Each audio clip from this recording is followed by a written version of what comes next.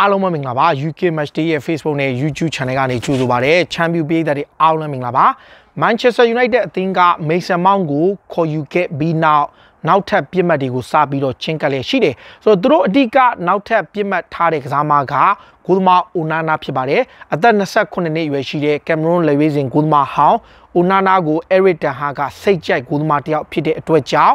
ဒါဗစ်ဟေယာနေရာမှာအစားထိုးဖို့ဆိုတော့ဘာကြောင့်လဲဆိုတော့အခုကျွန်တော်တို့ ဂျွန်30ရက်နေ့ကဒါဒါဗစ်ဟေယာရဲ့ contract စာချုပ်နောက်ဆုံးနေ့ပဲဖြစ်တယ်ဆိုတော့ club ဘက်က final decision ချတော့မယ် yes or no စနေမယ်မနေမယ်အတိအကျသိရမယ် report တွေရ Eric Ten Hag တို့ကလည်းအတွင်းသတင်းရတော့သိကောင်းသိနိုင်တယ်ဒါပေမဲ့လည်းလက်ရှိနေထားရ Manchester United အသင်းက29နှစ်ရွယ်ရှိတဲ့ Inter Milan ရဲ့ဂိုးသမားအတွက်သူတို့ရဲ့တာဝန်ရှိသူတွေကို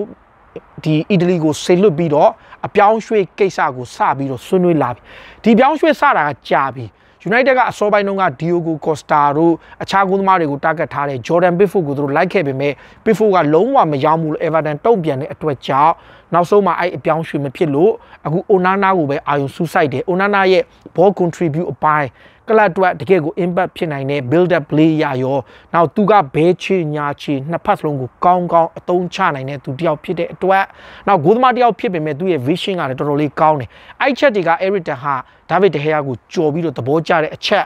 ဒဟေယာကိုဟိုတလောက United က contract ပြန် withdraw လုပ်ပြီးတော့ contract အသစ်နဲ့ကမ်းလာမယ်ဆိုတဲ့သတင်းတွေလည်းရှိတယ်အဲ့ဒါ Athletic မှာဖော်ပြထားတော့တကယ်ကိုမှန်ကန်တဲ့သတင်းလို့ကျွန်တော်ယူဆလို့ရတယ်ဒါပေမဲ့ the question က Manchester United အသင်းက Onana D ကိုအပီးသက်နိုင်လားဆိုတဲ့အချက်ပဲဆိုတော့ United ဒီ United ကအခုတကယ်ဆိုရင်ပြဈေးဦးမပေါက်သေးတဲ့အချက်ကြောင့်ဒါ right မောင်းမရောက်တဲ့အချိန်မှာအခုမောင်းလည်းရောက်လာပြီဆိုတော့မောင်းပြီးတဲ့အချိန်မှာဒုတိယမြောက် signing ကဘယ်လိုဖြစ်မလဲဆိုတော့အခုကျွန်တော်တို့ report တွေရ Manchester United က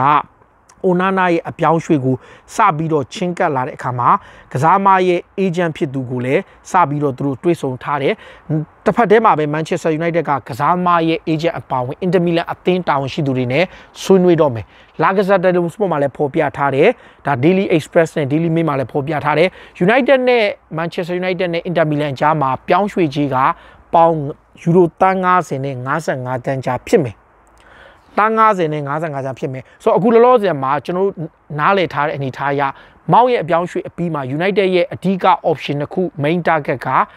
တိုက်စစ်မှုနဲ့ဂိုးသမား option ပဲခံစင်မှုကိုတော့သူတို့တတိယဦးစားပေးထားတယ်ဆိုတော့ပထမဦးစားပေးနဲ့ဒုတိယဦးစားပေးကဂိုးသမားရဲ့တိုက်စစ်မှုရဲ့ဆိုတော့ဒါသူတို့ရဲ့ကွင်းလေကရသွားပြီးတဲ့အချိန်မှာဂိုးသမားအိုနာနာအတွက်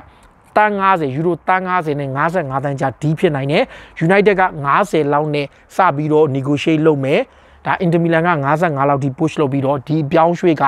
ကြားချပြီးဖြစ်သွားနိုင်လို့ maybe 55နဲ့လည်းဖြစ်သွားနိုင်တယ်50 plus အပူစုချင်းကိုလည်းဖြစ်နေဒါပေမဲ့တေချာတော့နှစ်ဖက်ကြားမှာ direct တွေးဆုံဆွေးနွေးမှုဆွေးနွေးမှုတွေစနေပြီဆိုတော့ဒါကိုကြည့်ကြပြ United ကဂိုးသမားအိုနာနာကိုတေချာပေါက်အာကူဖို့အတွက်ခေါ်ပြီးဒါပေမဲ့ question က striker အတွက် United ထပ်လိုက်အောင်လားဆိုတဲ့အချက် Hurricane က probably ရ Bayern Munich ကိုတွားဖို့များတယ်ဒါပေမဲ့တကယ်လို့မတွားခဲ့ရင်တော့ကိန်းကိုရဖို့ခတ်တော့ Manchester United မှာစဉ်းစားရခတ်နေတယ်ဆိုတော့ဒါပေမဲ့တဟေယာကိစ္စကလည်းသူတို့မှာတော်တော်လေးတွေ့ဝင်နေတဲ့အချိန်မှာကလပ်ဘက်ကမောင်းရဲ့အပြောင်းရွှေ့ကိုအမြန်ဆုံးအဆုံးသတ်ပြီးတဲ့အချိန်မှာ United ကပြဒီယာဒီမှာသူတို့ option ထားတာကဂိုးသမားရဲ့နောက်ခံလူရဲ့ကွင်းလေရဲ့တိုက်စစ်ရဲ့၄နေရာ၄နေရာအတွက်ဒါပေမဲ့အခု Manchester United နီးပြ Eric Ten Hag တို့အဓိက နောက်ထပ် target ထားတဲ့အချက်ကခုနပြောတဲ့ဂိုးလေးနေရာမှာသူတို့ကိုကွင်းလယ်ကိုရသွားပြီးဂိုးသမားကိုထပ်ခေါ်နေတယ်တိုက်စစ်ကိုခေါ်ပေမဲ့ခံစစ်ကသူတို့မတီးကြသေးဘူးဘတ်ဂျက်ဘယ်လောက်သုံးခွင့်ရမှာလဲဆိုတဲ့အချက်ဒါပေမဲ့အခုလောလောဆယ်မှာအထွက်ဖက်ကိုလည်းဒီဇူလိုင်လအတွင်းမှာသူတို့ push လုပ်မယ်အထွက်မှာသူတို့အများကြီးထွက်နိုင်မှုအထွက်ကပြောင်းရွှေ့ကြီးဘယ်လောက်ရမလဲဆိုတော့မူတည်ပြီးတော့ဘိုးနောက်ခံလူတယောက်ကိုထပ်ပြီးခေါ်သွားနိုင်နေရှိလို့သုံးသပ်ပေမဲ့သူတို့ရဲ့ဦးစားပေးနှစ်ယောက်ကတိုက်စစ်နဲ့ကွင်းလေဂိုးသမားဖြစ်တယ်တိုက်စစ်ကတော့ကျွန်တော်တို့ Hasmat Whiteland ဆိုတဲ့ Atlanta တိုက်စစ်မှုရဲ့ပြီးတော့ Kolo Muani ဆိုတဲ့ Itran Frankfurt ရဲ့တိုက်စစ်မှုရဲ့နောက်အခုဆိုရင် Rui Costa က Benfica ရဲ့တိုက်စစ်မှု Gonzalo Ramos ကိုခေါ်လို့ရတယ်ဆိုတဲ့ပြောင်းရွှေ့ကြီးတောင်ပြောနေတယ်တကယ်တော့ Gonzalo Ramos ရဲ့ရော်ကြီးစာချုပ်ကတန်းတရာကျော်ရှိတယ်ဒါပေမဲ့ Benfica နဲ့သူ့ရဲ့ contract ကဒီနှစ်နွေရာသီဇူလိုင်လဆိုရင်သူက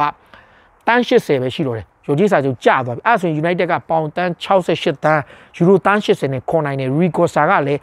ခေါ်ခြင်းခေါ်လို့ရတယ်ဆိုပြောထားတော့ Gonzalo Ramos က United တော့ option ဖြစ်နိုင်တယ်တခြားထဲမှာ United ကအခုဒီ Godma Onana အခုအဲ့နှစ်ယောက်ကတော့သူဖြစ်နိုင်ကြီးရှိပြီးတော့ဒီ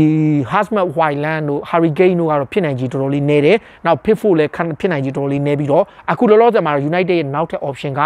Ramos နဲ့